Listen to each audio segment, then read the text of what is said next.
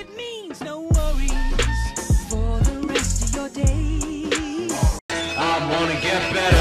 I'm not going to go through the whole can girls be simps argument because I don't care. I'll admit it's an overused term that I don't like using, but literally that's the only way I can describe Juno. After finally finishing Beastars, I was absolutely furious about what Juno did in the last episode. I promise I'm not going to straight up spoil anything because every furry needs to watch this show, but I should be able to explain why I'm so ticked off with Juno's behavior. Look, I know conflict is needed in literally every show to exist ever, so I understand Juno's purpose. Legosi the wolf falls in love with Haru the rabbit, and Juno, who's another wolf, pines for Legosi, since their relationship would make much more sense in society. Even though I understand the conflict and that it's needed, I hate it so much. Conflict is better when it's based off of actual love, not on petty lust and jealousy. Let me get this straight right now. Juno does not love Legosi. Juno clearly wants the D. Legosi is incredibly uncomfortable around Juno and wants literally nothing to do with her. There is not an ounce of Legosi that wants to be inside Juno. Juno still doesn't quit. Juno even knew Legosi liked Haru and purposely tried to sabotage their genuine relationship. I mean, genuine outside of the whole like um predatory instincts thing, but uh you know what I mean. There was not any sort of universe where Juno would be able to have Legosi. So therefore, Juno is a simp. To me, after witnessing Juno, gender will always be irrelevant in the simp argument. And the show goes on.